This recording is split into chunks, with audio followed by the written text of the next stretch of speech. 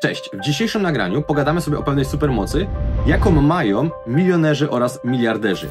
Czym jest ta supermoc? To nic innego jak umiejętność eliminowania pewnych rzeczy oraz upraszczania pewnych rzeczy. Jeżeli zobaczysz sobie na filmy, które są z Elonem Muskiem na YouTubie, to bardzo często mówi on o upraszczaniu albo wręcz o eliminowaniu. Leonardo da Vinci powiedział kiedyś, że prostota jest najwyższą formą wyrafinowania i jest to cytat, który bardzo często powtarzał Steve Jobs. O co chodzi z tym eliminowaniem oraz upraszczaniem? Eliminowanie oraz upraszczanie jest to pewna rzecz, którą powinieneś wdrożyć zarówno do swojego życia prywatnego, jak i do swojego życia biznesowego, jeżeli jesteś przedsiębiorcą.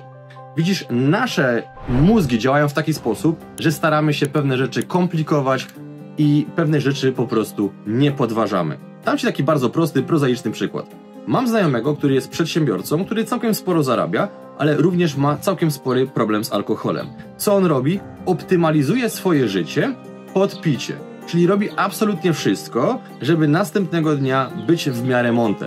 Co mam na myśli? Czyli w momencie, kiedy on na przykład idzie wieczorem gdzieś tam do baru, wypije parę piw, potem wraca, dobija się jeszcze wieczorem, przed samym spaniem wypija szklankę wody, bierze aspirynę, bierze jakieś witaminy, rano wstaje, od razu energy drink, szczególnie taki z cukrem, po to, żeby w jakiś sposób funkcjonować. Pierwsza część dnia u niego, w jego sytuacji, jest taka sobie. Potem bierze sobie drzemkę, wraca na pełne obroty i znowu pracuje na powiedzmy 70-60% swojej wydajności i cały czas ten cykl się u niego powtarza. Więc optymalizował swoje życie pod picie alkoholu. Ale gdyby zrobił jedną bardzo ważną rzecz, gdyby wyeliminował alkohol, to całe te procedury związane z optymalizacją jego życia pod picie mogłyby po prostu być wrzucone do kosza. Co to oznacza? Że nie musiałby pić, że nie miałby żadnej procedury z tym związanej, następnego dnia budziłby się wypoczęty, od razu mógłby pracować na 80-90% swoich, swoich możliwości. W momencie, kiedy by nie pił dłuższy czas, to by pracował na 90-95% swoich możliwości, a w pewnym momentach nawet by pracował gdzieś w granicach 100% swoich możliwości. Więc ludzie bardzo często nie widzą tego, że jeżeli wyeliminują pewne rzeczy ze swojego życia, ich życie będzie łatwiejsze, spokojniejsze oraz bardziej wydajne, a przy okazji też zaczną zarabiać znacznie więcej. Ale ten aspekt eliminowania oraz upraszczania procedur jest bardziej skomplikowany niż nam się wydaje. Elon Musk bardzo często podkreśla w różnych wywiadach, że inżynierowie mają problem z upraszczaniem pewnych procedur.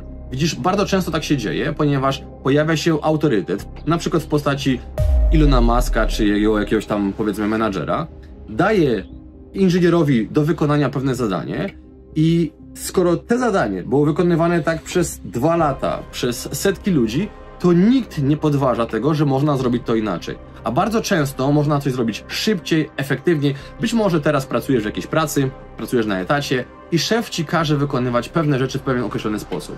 I doskonale wiesz, że gdybyś to zrobił inaczej, szef by mógł zaoszczędzić czas i zaoszczędzić pieniądze. Ale boisz się tego zrobić, albo boisz się pójść z tym do szefa, albo co gorsza, masz głupiego szefa, który uważa, że tylko w taki sposób to można zrobić i dlatego nie chcesz dokonać zmian.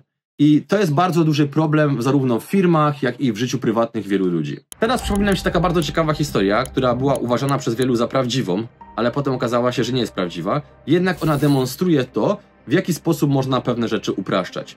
W momencie, kiedy był wyścig kosmiczny pomiędzy Amerykanami i Rosjanami, to okazało się, że bardzo dużym problemem w kosmosie jest grawitacja. Jeżeli chcesz coś zapisać w kosmosie, no to jest to duży problem.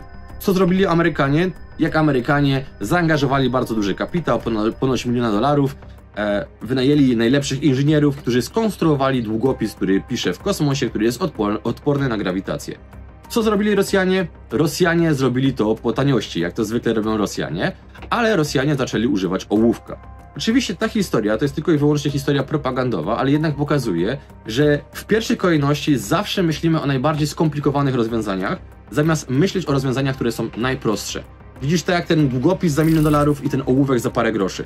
Więc my chcemy w naszym życiu, w naszym biznesie, we wszystkim co robimy, upraszczać oraz pewne rzeczy eliminować po to, żeby iść po jak najniższej linii oporu, nie mylić tego z bycia leniwym, tylko chodzi o to, że jak idziesz po tej najniższej linii oporu, tak naprawdę możesz osiągnąć znacznie więcej.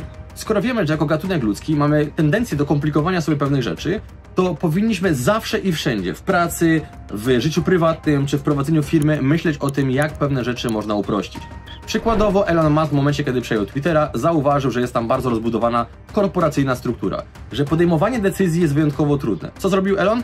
Elon po prostu zrobił bardzo prostą rzecz. Postanowił zwolnić większość ludzi, żeby przyspieszyć szybkość podejmowania decyzji. Zobacz sobie, jeżeli masz korporację, jeżeli cokolwiek chcesz zmienić, jakąś procedurę, to ona musi przejść przez miliony rąk. Czyli w tym momencie jest opóźnienie, są to koszty i tak dalej, i tak dalej. Więc można po prostu zwolnić większość ludzi i w tym momencie przyspieszyć podejmowanie decyzji. Nie wszystkie pomysły Elona Muska miały sens. Na przykład Elon Musk zauważył, że na Twitterze jest bardzo dużo fejkowych kont, na przykład mamy 5 Donaldów Trumpów, więc postanowił wprowadzić subskrypcję. Nazwał ją Twitter Blue i w momencie, kiedy wykopywałeś sobie subskrypcję, automatycznie byłeś oficjalnym kontem. Problem polegał na tym, że wykorzystywali to oszuści i Elon Musk miał jeszcze większe problemy niż przed prowadzeniem tej subskrypcji. Potem wprowadzono na przykład weryfikację dowodem osobistym. Więc można pewne rzeczy uprościć, choć nie zawsze od razu przynosi to zamierzone efekty. Dlatego trzeba cały czas myśleć, ok, co my możemy zrobić, żeby ten proces był prostszy.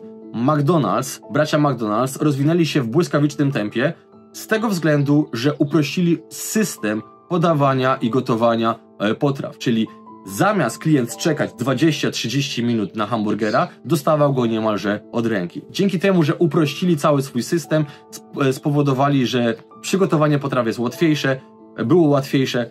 W tym momencie zyskali ogromną przewagę konkurencyjną. Kolejnym bardzo ciekawym przykładem, dlaczego pewne rzeczy warto upraszczać czy wręcz eliminować, jest Rockefeller. Rockefeller zauważył, że w jego fabryce cynuje się beczki z ropą 40 kroplami cyny. No i to był taki standard, który zawsze wszyscy robili i nikt nie podważał, że można użyć mniejszej ilości kropel cyny. Oczywiście wtedy się pojawił Rockefeller i powiedział spróbujmy z 38 kroplami. Okazało się, że beczki puszczały.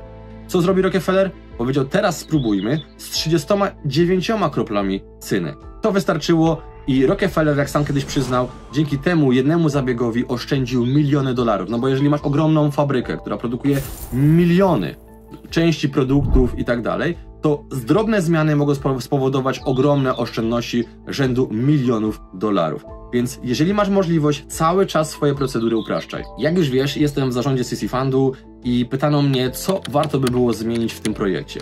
Na jednym z ostatnich posiedzeń zarządu po prostu zaorałem praktycznie cały wygląd portalu. Dlaczego? Ponieważ uznałem, że im prościej coś zrobimy, tym będzie to lepsze, ponieważ użytkownik nie będzie się gubił, użytkownik będzie doskonale wiedział, gdzie są jego kursy, gdzie są jego szkolenia, jak zarabiać itd., tak itd. Tak Więc teraz pracujemy nad tym, żeby uprościć cały projekt. Więc ja uważam osobiście, że w prostocie tak naprawdę jest zawarta, w prostocie jest zawarty sukces. To jest przynajmniej moje podejście w tej kwestii. Ale to nie wszystko. Przypatrz sobie, jak wyglądają wszystkie rzeczy, które robisz w swoim życiu. Od mycia zębów, po ubieranie się, po prowadzenie własnej firmy. Następnie zastanów się, co można uprościć, co można wyeliminować, żeby Twoje życie było prostsze i co można zautomatyzować. Wiele rzeczy, które robisz dzisiaj, można zautomatyzować. I tutaj przychodzi mi na myśl taka bardzo śmieszna historia, która miała miejsce kilka lat temu. Na jednym z moich szkoleń podszedł do mnie klient i powiedział mi, że na szkoleniu usłyszał, że istnieje coś takiego jak autoresponder. On miał bazę chyba 15 czy 10 tysięcy subskrybentów i wyobraź sobie, że, on parę razy w tygodniu wysyłał do tych wszystkich ludzi maile ręcznie, zamiast robić to w sposób zautomatyzowany. Traci po parę godzin, tymczasem gdyby użył autorespondera, który wyśle masowo mailing do wszystkich, to zrobiłby to w kilka minut. Więc nawet takie proste rzeczy e, bardzo często ludzie nie dostrzegają albo po prostu nawet o nich nie wiedzą. To, co Ci polecam w tym momencie zrobić, to zastosowanie tak zwanych split testów. Co mam na myśli, jeżeli mówię o split testach? Split test to jest generalnie takie określenie, które używa się w marketingu, gdzie porównuje się na przykład dwie oferty i sprawdza się, która jest skuteczniejsza. Ale split testy również możesz wykorzystywać we własnym życiu. Na przykład, teraz masz taką sytuację, że masz pełną szafkę ubrań, ona pęka i zastanawiasz się, w co się ubrać. Kobiety bardzo dobrze to znają. Więc weź 90% rzeczy, spakuj do wora, schowaj je do piwnicy na strych, tak żebyś po prostu nie miał ich w szafce. I zobacz, co się stanie w Twoim życiu, jeżeli wyeliminujesz 90% ubrań. Ja tak zrobiłem. Okazało się, że nie zastanawiam się, czy ubrać taką koszulkę, czy taką. Po prostu mam tylko kilka koszulek, więc biorę pierwszą lepszą. Jeżeli chodzi o skarpetki, to zawsze był problem z tym, że miałem jedną taką, jedną taką, wywaliłem wszystkie, kupiłem dokładnie takie same i teraz się nie zastanawiam, czy ta pasuje do tej, bo mam takie same po prostu i nieważne, którą wezmę, jest ok. Nie dość, że to jest szybsze, to jeszcze to zmniejsza tak zwane obciążenie poznawcze i podejmuje mniej decyzji w swoim życiu. I tak możesz robić dokładnie z wszystkim. Na przykład, jeżeli dzisiaj jesz 5 posiłków dziennie, zastanów się, co by się stało, gdybyś jadł tylko dwa posiłki albo tylko trzy posiłki. Rób sobie krótkie testy i sprawdzaj, jak to wpływa na Twoje życie. Te testy dotyczą mojego życia osobistego, snu, treningu, e, ubioru, wszystkiego. Nawet teraz, kiedy nagrywam ten materiał, wykonuję test, sprawdzam, czy na przykład lepiej się będzie mi sprawdzało nagranie na zewnątrz, w takiej formie, czy na przykład lepiej się sprawdza w biurze, z animacjami, z, z szybkimi przebitkami, czy może bez.